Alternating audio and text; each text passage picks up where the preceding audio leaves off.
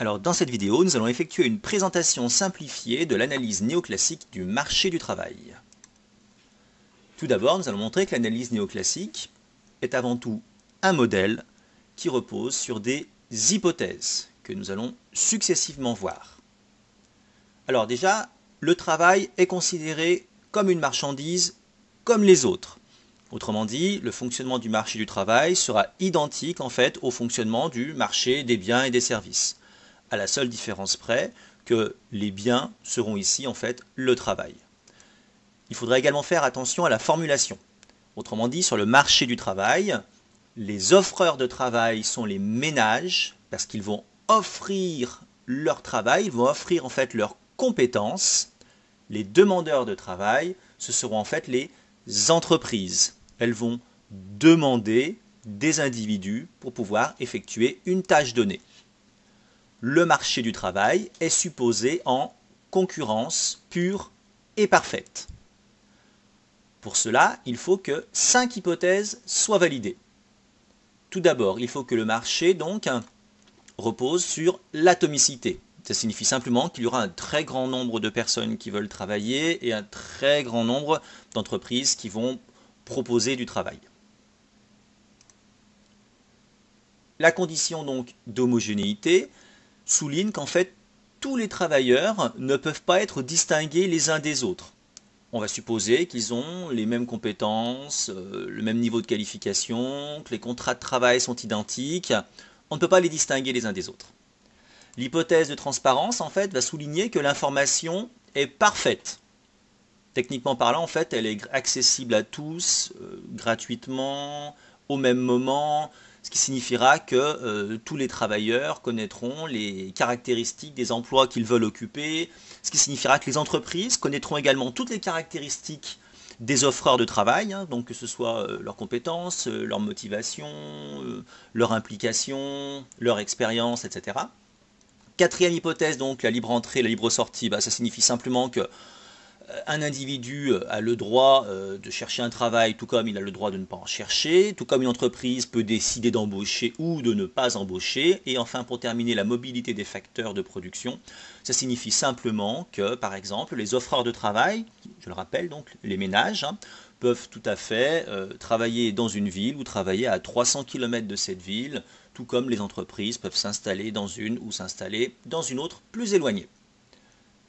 Dans l'analyse néoclassique donc, du marché du travail, on suppose que les agences économiques sont rationnelles. Autrement dit, ils veulent maximiser leur satisfaction, faire qu'elle soit la plus élevée possible. Pour les ménages, ils voudront donc avoir l'utilité, la satisfaction la plus importante. Pour les entreprises, elles voudront avoir le bénéfice le plus élevé possible.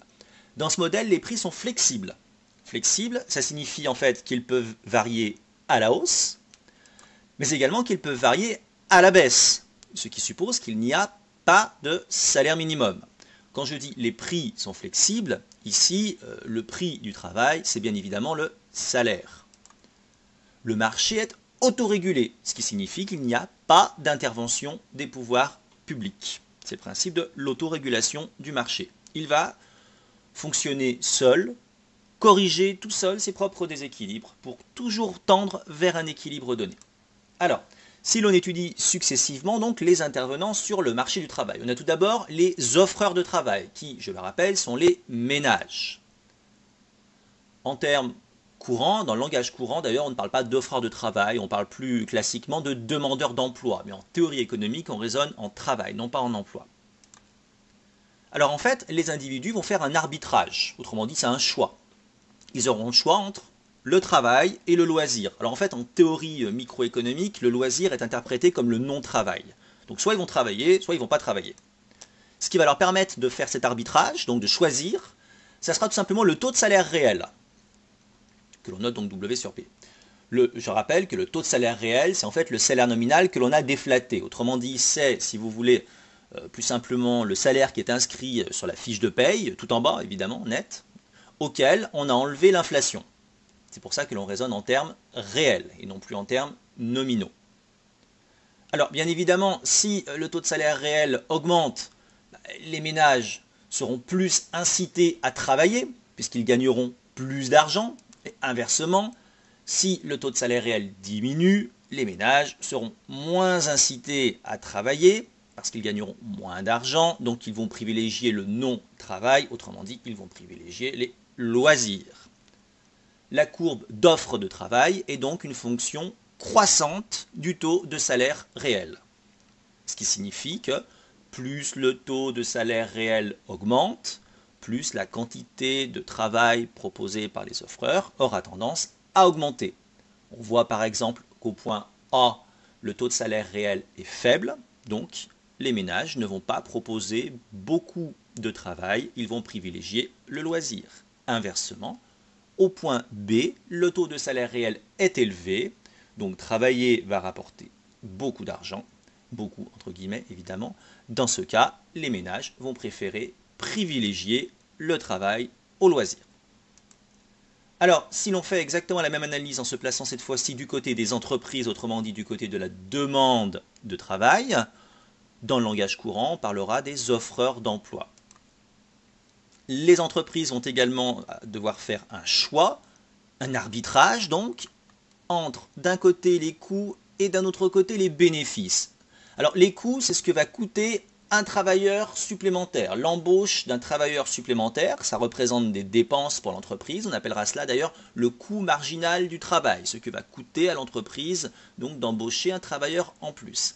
D'un autre côté, le fait d'avoir un travailleur en plus dans l'entreprise, ça va rapporter évidemment des richesses parce qu'il va produire. Donc ce qui va rapporter à l'entreprise le travailleur supplémentairement embauché, embauché en plus, donc on appellera cela la productivité marginale. Donc d'un côté, on a le coût marginal du travail, ce qui va coûter à l'entreprise un travailleur supplémentaire. D'un autre côté, on a la productivité marginale, ce qui va rapporter à l'entreprise un travailleur supplémentaire. L'entreprise va juste comparer les deux, tout simplement. Si la productivité marginale du travail est supérieure au coût marginal du travail, autrement dit, si le travailleur va plus rapporter à l'entreprise qu'il ne lui coûte, bah, l'entreprise va se dire ok, c'est bon, je l'embauche. Si d'un autre côté la productivité marginale du travail est inférieure au coût marginal du travail, bah là bien évidemment l'entreprise ne sera pas incitée à l'embaucher. D'autant plus qu'en vertu de la loi des rendements décroissants, on sait que la productivité marginale du travail diminue au fur et à mesure donc que le nombre de travailleurs augmente. C'est essentiellement pour des raisons organisationnelles. Ça veut dire que si on augmente le nombre de travailleurs en fait euh, dans une entreprise, euh, tout travailleur supplémentaire aura tendance à créer moins de richesse que le travailleur qui aura été précédemment embauché dans l'entreprise. Exemple tout simple, euh, imaginez trois cuisiniers donc bah, dans, des cuisines hein, qui vont fabriquer des pizzas. Imaginons qu'ils fabriquent au total 18 pizzas par heure, donc en moyenne ça en fait 6 chacun. Imaginons qu'on en embauche un quatrième.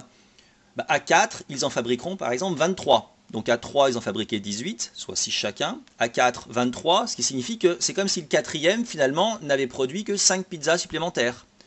On en embauche un de plus, à 5, ils en produiront 27. C'est comme si le cinquième, donc, n'avait produit que 4 pizzas en plus. En fait, on voit que chaque travailleur supplémentaire dans l'entreprise produit individuellement moins de richesse que le précédent. La loi des rendements décroissants.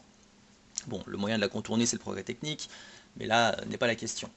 Donc on voit bien que la courbe de demande de travail est une fonction décroissante du taux de salaire réel. Donc graphiquement, on voit bien effectivement que quand le taux de salaire réel est élevé, la demande de travail faible, et inversement.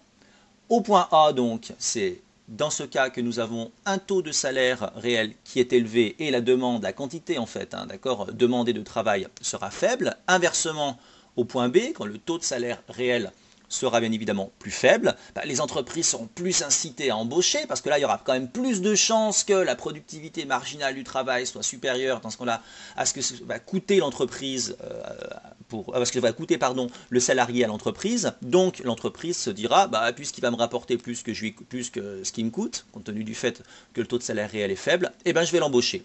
Donc l'entreprise sera plus incitée bien évidemment dans ce cas demander du travail.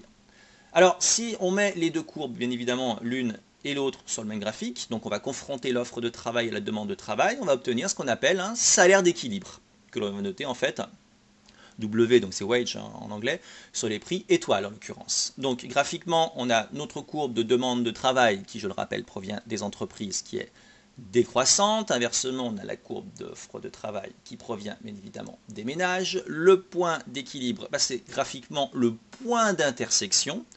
À cet équilibre, il y aura donc bien évidemment une quantité de travail qui sera échangée à un taux de salaire réel donné.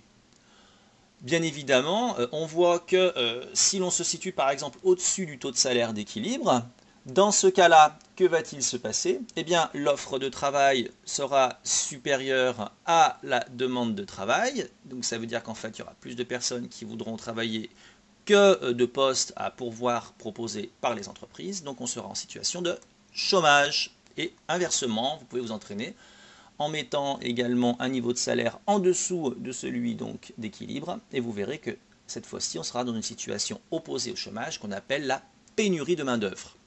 Donc quand les quantités offertes sont supérieures aux quantités demandées, donc on a du chômage. Inversement, quand les quantités offertes sont inférieures aux quantités demandées, on a une pénurie de main-d'œuvre. Pénurie de main-d'œuvre, c'est-à-dire que les entreprises n'arrivent pas à recruter. Il y a des tensions sur le marché du travail. Donc en fait, on voit que dans l'analyse néoclassique, en fait, il ne peut pas y avoir de chômage involontaire, car de toute façon, les salaires, les prix hein, ici, sont flexibles. Si l'on est au-dessus du salaire d'équilibre, Bien évidemment, comme l'offre est supérieure à la demande, dans ce cas-là, le salaire doit diminuer pour tendre vers l'équilibre. Si on est en dessous du salaire d'équilibre, dans ce cas, la demande est supérieure à l'offre, donc le salaire va augmenter pour tendre vers l'équilibre. On ne peut pas avoir, en fait, de chômage involontaire dans l'analyse néoclassique. Dans l'analyse néoclassique, on ne peut avoir, en fait, que du chômage volontaire, Autrement dit, les offreurs de travail, les ménages n'ont pas envie de travailler au taux de salaire réel donné parce qu'ils trouvent par exemple qu'il est trop faible.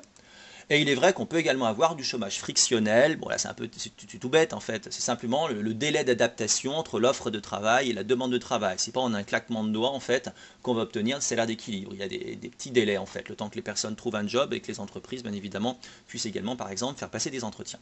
Voilà.